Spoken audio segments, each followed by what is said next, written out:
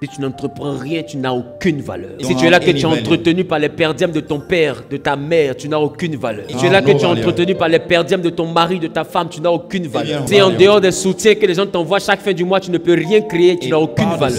Parce que le jour où ils to vont do arrêter de te it. donner, ou bien le jour où quelqu'un va mourir parmi eux, tu vas voir ta vraie valeur. Et c'est là que tu verras que tu n'as jamais eu de valeur. C'est comme ça, il y a des enfants de riches, quand le riche est mort et que tout, ils ont tout perdu, ils n'ont plus rien fait de leur vie. so D'autres se sont suicidés.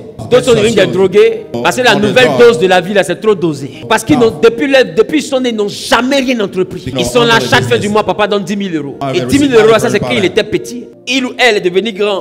Quand papa le voit, quand maman le voit, ah, ça va, tiens 30 000 euros, tiens 50 000 euros. Euro. Le papa est 50, multimilliardaire, tiens 2 milliards là-bas. Donc l'enfant, il est fort dans vos rien. You Il n'a jamais rien fait de sa vie.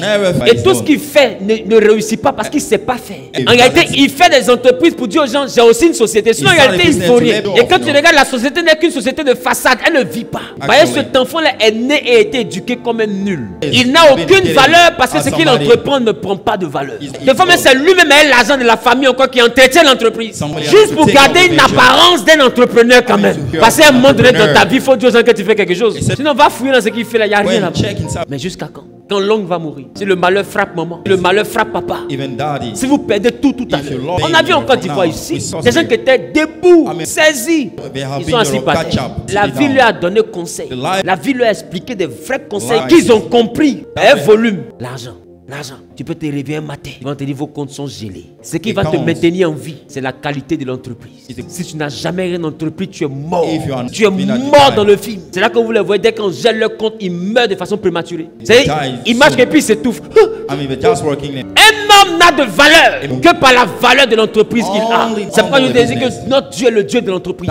Tant que tu n'as pas d'entreprise, tu n'as pas de bénédiction. Si ton soutien t'abandonne, tu vas lire. Il y en a qui sont ici. Si tu commences à envoyer les textos, coucou, t'es là?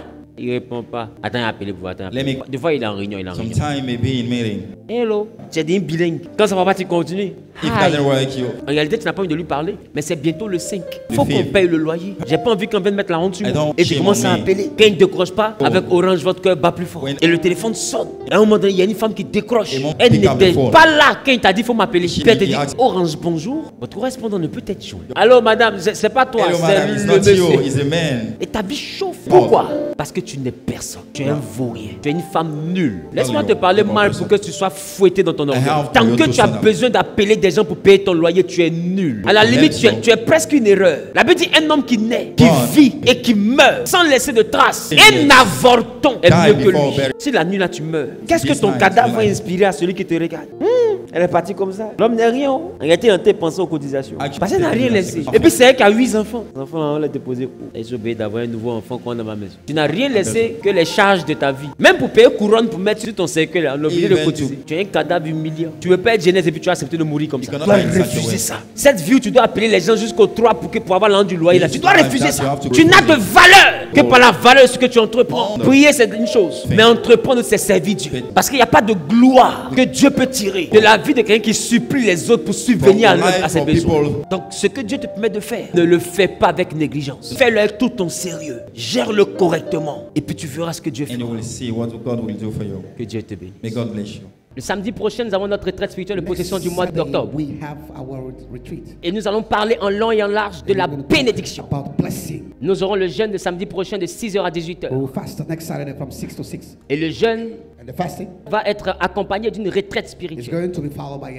Et cette retraite spirituelle va se dérouler de 8h à 18h. And that spiritual retreat is going to be from 6 Et to toi qui es 8. ici, les membres des départements, les responsables et les membres de l'église, j'ai envie de vous dire que la retraite est obligatoire.